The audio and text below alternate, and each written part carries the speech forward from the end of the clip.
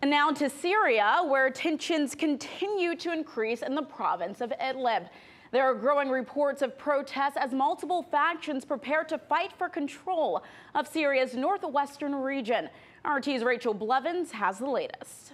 As the Syrian government prepares to launch an offensive in an attempt to regain control of the Idlib province, there have been multiple reports of protest, with some social media users claiming Turkey is having a major influence.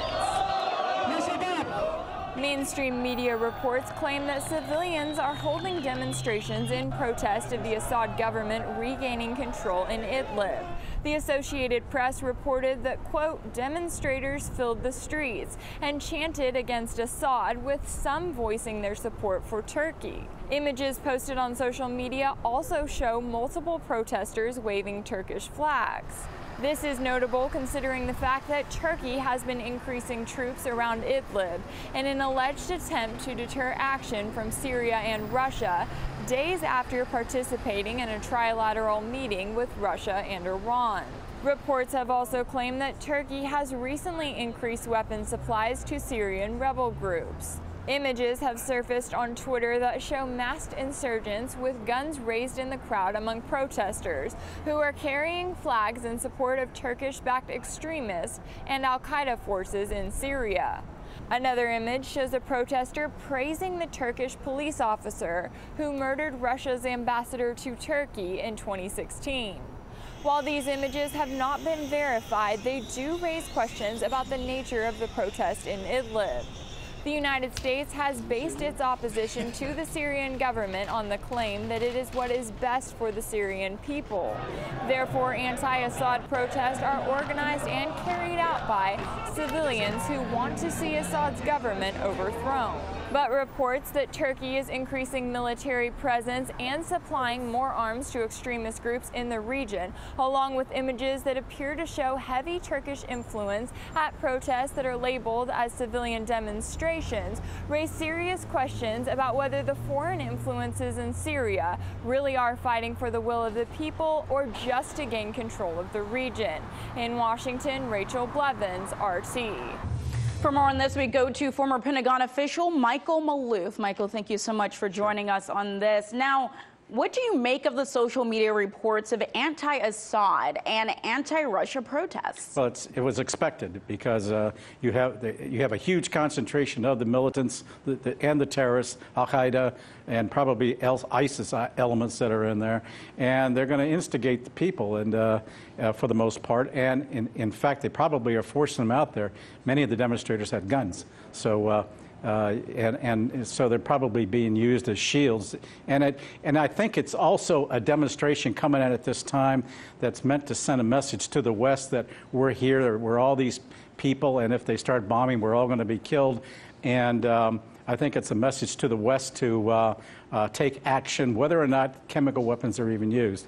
So we're, we're heading for a showdown, in effect. I want to get into Turkey. Mm-hmm. How big would you say Turkey's influence is in Idlib? Oh, it's tremendous. They they have uh, they ha- actually have outposts there. They're sending in troops. Uh, they support a lot of the uh, militants who are there. So they have a lot at stake there, and, and of course it borders right on Turkey. So it's it's um, it, it's, it's an area that Turkey uh, has, has designs uh, for its own, for its own purposes, but um, I don't think that's going to happen because Assad wants to take all of his territory back.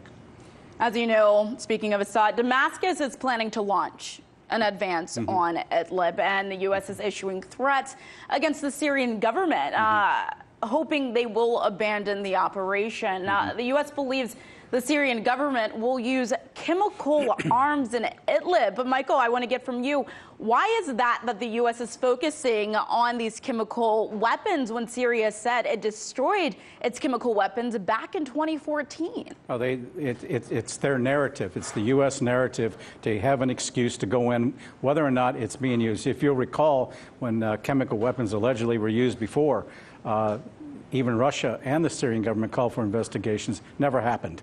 And, they, and then uh, missiles were launched by the United States, uh, UK, and, and France at that time they see a, a prescription for uh, doing this all over again in order, and it's important for the United States from a strategic standpoint to show to know not to show strategic weakness so much, but to but to also offset uh, Russia's influence in that area, embarrass embarrass Russia, and and, and uh, also there's designs for, uh, for, for the United States to maintain a presence in Syria because of East Syria, and that's really critical for the United States. I want to get into uh, the fact some people are saying if the Syrian government moved in on Idlib, um, it would cause a major catastrophic impact. Uh, so, from your opinion, what do you think the outcome would be? I think it depends upon the approach. Uh, tactically, uh, things can be done to minimize uh, uh, civilian casualties. There, there are uh, ways that, that that can be done. they probably want to minimize aerial as well as artillery, simply because the allegations will start flying like crazy that chemical weapons were used, and the militants are ready. They have that capability, and they are diehards. They're going to they're, they're standing and fighting, and that's what they want to do in order to gain uh, Western attention and, right, and have- world sympathy. Michael, we have about 30 seconds left. Today, the Russian Foreign Minister Sergei Lavrov, he said that Moscow would keep bombing militant targets in Syria's Idlib province if need be, mm-hmm. but would also allow civilians to flee. Mm-hmm. In your opinion, is this the right course of action here? Yes. Uh, for some time now, the, uh, the Russian Author- uh, Reconciliation Group out of uh, Hmeimim Air Base in Latakia has uh, made efforts to bring civilians out, to set up corridors for civilians to leave who want to leave, if the terrorists will let them. Uh, but at the same time, they, they're, uh, they're going to uh, rat, ratchet up uh, the, the activities in order to uh, allow Assad to regain that, that province. But there's, there's also the, uh, the Russians have, in addition to allowing the corridors to, uh, to set up these corridors, uh, they have actually approached militant groups and leaders of some of these groups that are not associated with Al Qaeda or with uh, ISIS. Uh, in order to, and al Nusra to, in order to um, uh, get their commanders to agree to a reconciliation. Some have done that. So that, that that's an ongoing process.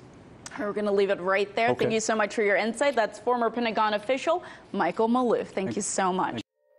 Hey YouTube, thanks for checking out our channel. We hope you enjoyed the video. We have tons of content for you just like this. For more of RT America's one-of-a-kind news and analysis, be sure to subscribe and never stop questioning more.